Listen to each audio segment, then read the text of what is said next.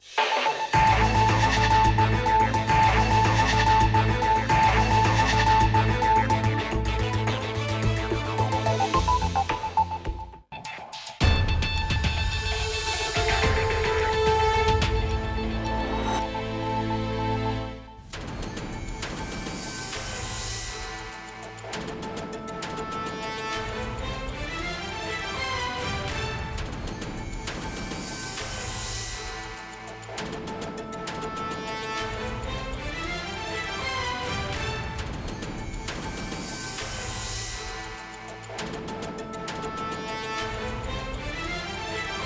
Süper Lig'de dördüncü hafta bugün. Dört maçta Stadyumda tamam. velilerde tatlı bir telaş, heyecan var. Referandumda kullanılan oylar kadar kullanılmayan CNN Türk Haber Merkezi'nden mutlu günler saat 16 gündeme ilişkin gelişmelerle karşınızdayız. haftalarda yine gerilen İsrail-Lübnan ilişkileri yeniden Yarın akşam saat 17'de CNN Türk ekranlarında yeni bir afişte karşınızda olana dek Emniyet Müdürü Hanefi Avcı, Emniyet Genel Müdürlüğü'ne dilekçeyle başvurarak merkeze Şimdi Fenerbahçelileri sevindirmek için transfer arayışlarına devam ediyor Fenerbahçe yönetimi. Şimdi Ali Peki- Bardakoğlu Diyanet İşleri Başkanlığı görevinden ayrıldı. Ayrılırken Yalova'daki bu kampta her şey unutulmuşluğun, terk edilmişliğin göstergesi. yitiren 13 kişinin arasında bir aile vardı ve o aile Hatta neredeyse ceza gelecektir ama PAOK seyircisinden dolayı PAOK, PAOK takımına.